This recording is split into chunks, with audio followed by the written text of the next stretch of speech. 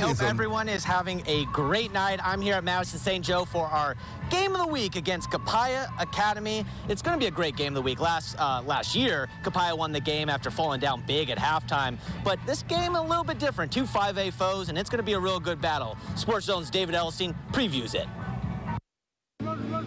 The memory has not gone away. that feeling just really hurts because we, we were like the team that, you know, to beat, you know, the team to knock off. Then, you know, that game, that first game, they kind of just knocked us off. St. Joe football lost to Copiah to start last season. The Bruins led 19 0 at halftime. The Colonels then scored 34 unanswered points. Still in the back of my head. I don't want that to happen again. That was an issue last year, uh, just running out of gas. It was the team's first ever meeting. St. Joe's first year as a private school in the MAIS. Learning the different schools and um, coaching staffs and players and all that. Now the Bruins are trying to learn more about themselves with more depth coming from new players. Everyone's gotten a little bit stronger, you know.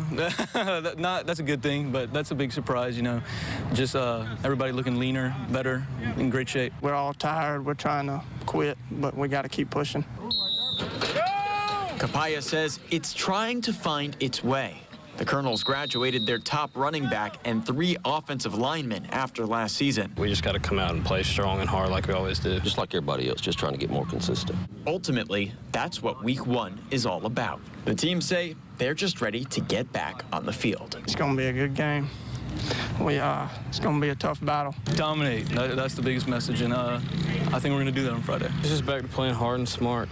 I just can't wait. Can't wait for the team's first ever rematch. David Edelstein, Sports Zone 12.